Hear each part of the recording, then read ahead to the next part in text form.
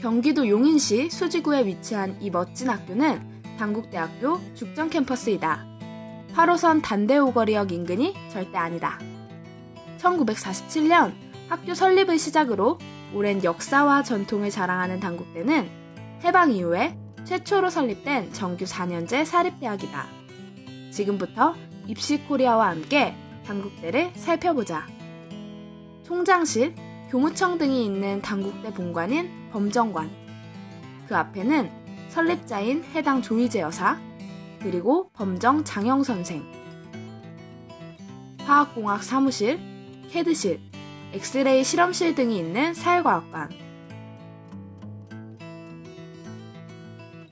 이곳은 미디어 센터로 TV 스튜디오, 광고 신문 제작실, 언론 영상학부 등 각종 실습실 등이 위치해 있다.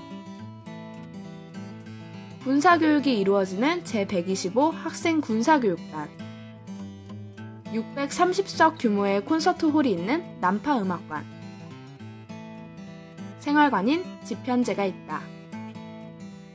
또 무용과의 수업이 열리는 곳인 무용관이 저 멀리 보인다. 이 멋진 건물은 바로 대학원동인데 직접 찾아가 보았다. 1층엔 커피숍이 있고 다른 층에는 국제어학원과 모의법정 등이 위치해 있었다. 이곳은 학생회관으로 취업 진로팀, 문구점, 학생 식당, 은행, 보건소 등의 시설들이 자리 잡고 있었다. 학생회관 뒤쪽에는 평화의 광장이 있는데 이곳에 바로 당국대의 상징인 곰상이 있다. 그 옆에 건물은 석주선 기념 박물관이 있는데 수많은 유물들이 전시해 있었다. 바로 옆에는 연민기념관이 마련되어 있었다. 1층에는 연구실, 2층에는 진열실이 있었다. 당국대의 상징인 용맹한 곰의 모습을 이곳에서도 볼 수 있었다. 이번엔 캠퍼스 안에 있는 미술관에 와보았다. 이미 미술관 주변에는 독특하고 다양한 많은 미술품들이 눈에 띄어 당국대학교의 예술성을 느낄 수 있었다. 내부로 들어가니 한 학과에 아트전이 열리고 있었다. 미술관 옆으로 보이는 저 큰 건물은 바로 체육관이다.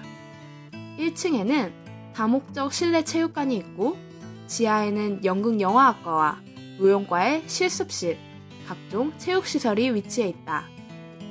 그 밖에도 캠퍼스 안에는 여러 체육시설들이 있는데 농구장, 배드민턴장, 테니스장, 풋살장 등이 있다.